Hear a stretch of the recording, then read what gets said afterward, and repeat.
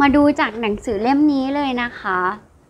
อ่านให้ฟังเลยค่ะโคดาจริง ๆ มันจะมีคุณลักษณะเด่นของความเป็นผู้นำนะคะ ทั้งหมดในนี้จะมีอยู่ 11 ข้อด้วยกัน แต่โคดาลองอ่านแล้วเนี่ย เอามาจากประสบการณ์ตัวเองนะ ผู้นำที่โคดาเจอมาจะขาดคุณสมบัติ 3 ข้อนี้ค่ะอ่าข้อ 1สำนึกแห่งความยุติธรรม ผู้ผู้นำที่โคดาเจอมาในอดีตนะคะ ก็คือผู้นำที่ไม่มีคุณสมบัติข้อนี้เลย คือว่าอืมปราศจากความตรงไปตรงมา คือเจ้านายหรือว่าบริษัทที่เคยเจอมา ไม่ได้ว่าทุกบริษัทนะคะ ว่าบางบริษัทหรือว่าแบบอืม50% 50%นะคะเจ้านายจะต้องโกหก หลอกลวง ปลิ้นปล้อน แล้วก็ ให้ลูกน้องไปทำแบบที่แบบให้ลูกน้องไปทำอย่างเงี้ย แล้วลูกน้องที่ไหนจะรักอะคะ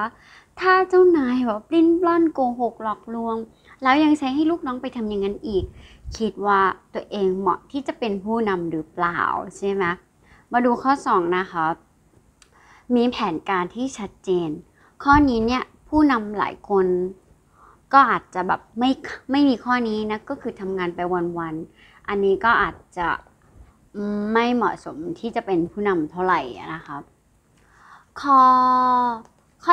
3 มีความร่วมมือคือสร้างทีมเวิร์กได้ดี อย่างข้อนี้ที่โค้ชดาแนะนำมาเนี่ยก็คือโค้ชดาเคยทำงานให้กับหลายบริษัท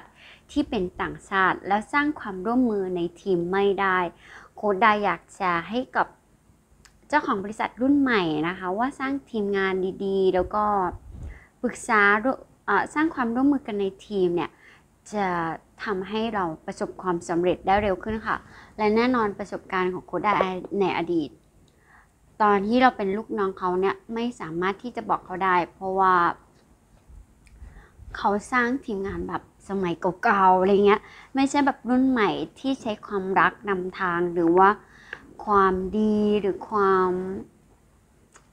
มีจรรยาบรรณอะไรเงี้ยค่ะ ก็ฝากให้ น้องๆรุ่นใหม่ ๆนะคะ ที่จะมีบริษัทจัดตั้งบริษัท หรือต้องการเป็นผู้นำที่ดีก็ใส่คุณสมบัติเหล่านี้ เข้าไปในตัวคุณด้วยค่ะ ขอบคุณค่ะ